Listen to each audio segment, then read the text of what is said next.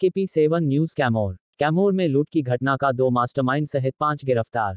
कैमोर ज़िले के एनएच तीस पथ पर लूट की घटना का अंजाम देने वाले दो मास्टरमाइंड सहित पाँच अपराध कर्मियों को पुलिस ने गिरफ़्तार किया है।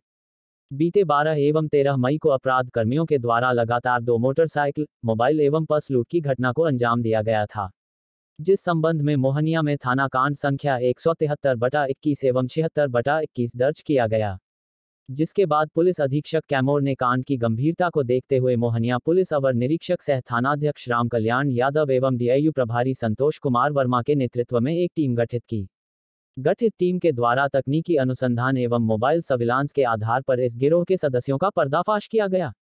इसकी जानकारी देते हुए पुलिस अधीक्षक कैमोर राकेश कुमार ने बताया कि अनुसंधान के क्रम में गठित टीम के सदस्यों को सूचना मिली कि परस पिपरा नहर के पास तीस पर लूट की घटना का अंजाम देने के लिए अपराध कर्मियों का जमावड़ा हो रहा है, जहाँ पुलिस सर्विलांस के आधार पर छापेमारी कर पाँच अपराध कर्मियों को गिरफ़्तार कर लिया, जिन्होंने पूछताछ के क्रम में उक्त दोनों घटना में शामिल होने की स्वीकारोक्ति बयान दिया।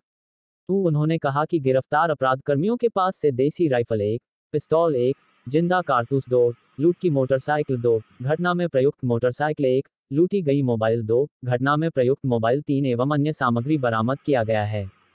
कैमोर से शंभुनाथ सिंह की रिपोर्ट। बारह एवं तेरह मई को मोहनिया थाना के अंतर्गत लगातार दो दिन दो अलग अलग स्थलों पर मोटरसाइकिल की छिनैती की गई थी।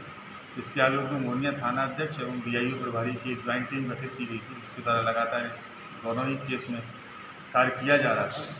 कल देर रात्रि में इसमें इनपुट प्राप्त हुआ। दादर एक गाँव है उसके अंतर्गत वहाँ के निवासी हैं अभिषेक। जिसके बारे में सूचना मिली डी आई की टीम को और थानाध्यक्ष मोहनिया जिनके द्वारा ये घटना का अंजाम दिया गया है। देर रात्रि में रेड की गई वहाँ पर। उनकी निशानदेही के आधार पर चार अन्य लोगों की गिरफ्तारी की गई, जिसमें एक का नाम रोहित है, अमन है, दिव्यांशु है, मनीष है। इन पाँचों ही लोगों के पास से जो घटना में दो मोटरसाइकिल लूटी गई थी, उन दोनों की बरामदगी की गई इसके अलावा घटना में जो मोटरसाइकिल लूट की गई थी, उसकी भी बरामदगी की गई इसके अतिरिक्त एक राइफल और एक पिस्टल भी इनके पास से जब्त किया गया है। दो कारतूस जब्त किए गए हैं और छः मोबाइल भी इनके पास से जब्त किए गए हैं।